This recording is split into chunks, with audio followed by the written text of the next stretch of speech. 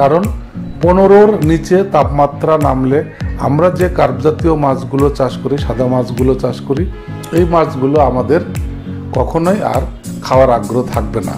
আমরা যদি এই শীতকালীন টাইমগুলোতে যারা এয়ারেশন ব্যবস্থাপনার মধ্যে দিয়ে মাছ চাষ করছি, আমাদেরকে প্রয়োজন হলে শীত যত টাইম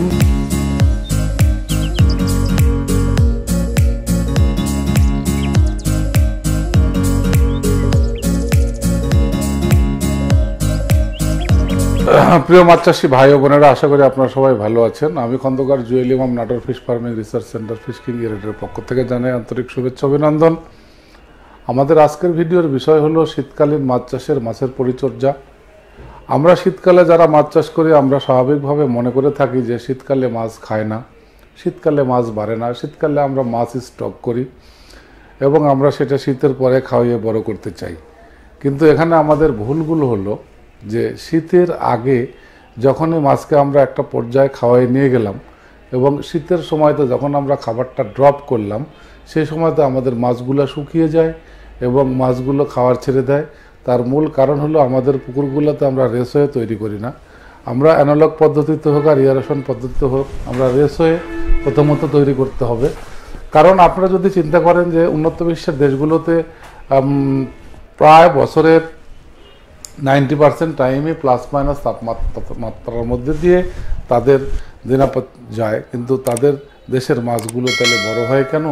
আর তাদের দেশের মাছগুলো বেঁচে থাকে কি করে? কিন্তু আমাদের ঠিক তারা যেভাবে মাছ চাষ করছে, সেই প্রযুক্তিগুলোই আমাদের কাছে আসছে।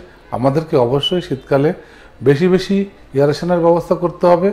কারণ পনেরোর নিচে তাপমাত্রা নামলে আমরা যে কার্প জাতীয় মাছগুলো চাষ করি, সাদা মাছগুলো চাষ করি এই মাছগুলো আমাদের কখনোই আর খাওয়ার আগ্রহ থাকবে না। আমরা যদি এই শীতকালীন টাইমগুলোতে যারা এয়ারেশন ব্যবস্থাপনার মধ্যে দিয়ে মাছ চাষ করছি, আমাদেরকে প্রয়োজন হলে শীত যত টাইম তাপমাত্রা পনেরোর নিচে থাকবে, তত টাইমে আমরা এক ঘণ্টা, দুই ঘণ্টা মেশিন চালাবো, এক ঘণ্টা বন্ধ রাখব, আবার এক ঘণ্টা চালাবো, এক ঘণ্টা বন্ধ রাখব। মোট কথা হলো যে পানির তাপমাত্রাটা আমাদেরকে আবহাওয়ার চেয়ে বাড়ানোর চেষ্টা করতে হবে।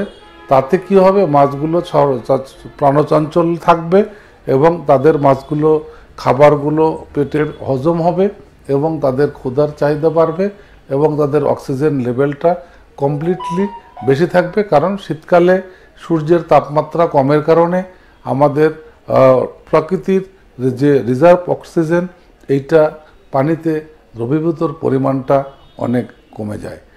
তারপরে যদি আমরা আরও পরিচর্যা চিন্তা করি, আমাদের এই শীতকালীন সময়ে প্রচুর পরিমাণে পুকুরে যে জৈবিক অজৈবিক পচনক্রিয়া হয়, সেটার কারণে পুকুরে প্রচুর পরিমাণে আনিটেন খাবার নষ্ট হয় যেগুলো মাছে খায় না।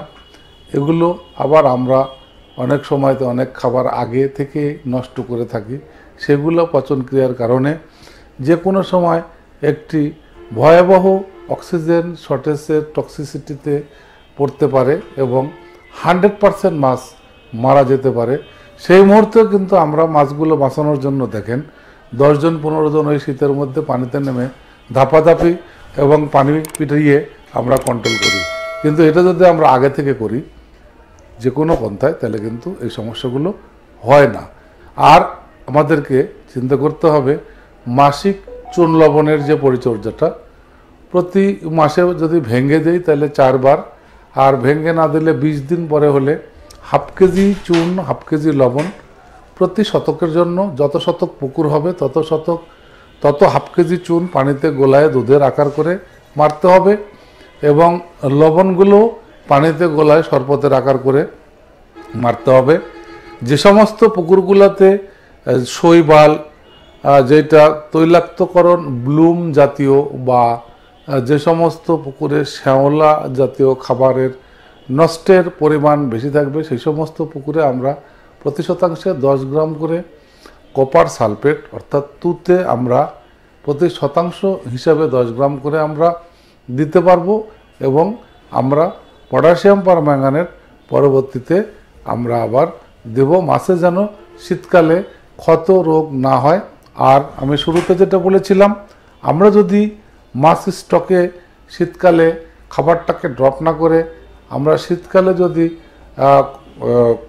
ইন্ডাস্ট্রিয়াল পন্থা ইয়ারেশন যেমন একটা ইন্ডাস্ট্রি সবসময় চালু থাকে মেশিনারিজগুলো এভাবে যদি আমরা আমার পানের তাপমাত্রার প্রয়োজন ভাবে আমরা চালু রেখে মাছকে নিয়মতান্ত্রিকভাবে খাবার খাওয়াইতে পারি, তাহলে আমাদের পুকুরের মাছগুলো যে খাবার ওয়েস্টেজ এখন খাবারের দাম অনেক বেশি, এগুলো থেকে আমরা রক্ষা পাবো এবং আমাদেরকে মাছের লসের সম্ভাবনা থাকবে না, মাছের মরক থাকবে না, মাছের রোগ ব্যাধি থাকবে না, আর আমরা মেডিসিন কেমিক্যাল নির্ভরতার দিকেও যেতে হবে না। এই বিষয়গুলো মাথায় রেখে আমরা মাছকে পরিচর্যা করব, আর পারলে একটি এয়ারটার লাগাবো। এয়ারেটর যে কি আপনাদের পারিপার্শ্বিক এলাকাতে যেনারা লাগিয়েছে, আমি সারা বাংলাদেশের প্রত্যেকটা অঞ্চলেই প্রায় দিয়েছি। হয়তো পরিমাণে অনেক কম হয়েছে, কারণ একটা নতুন ভার্সন আগামীতে আরও হবে, আপনাদেরও আস্থা ফিরবে। আপনারা যারা এই কর্মযজ্ঞের সঙ্গে টেকসই উন্নয়ন প্রযুক্তিতে টিকে থাকতে চান, তাদের উদ্দেশ্যে একটা কথাই বলব, মাছ চাষে এয়ারেশনের কোনো বিকল্প নেই।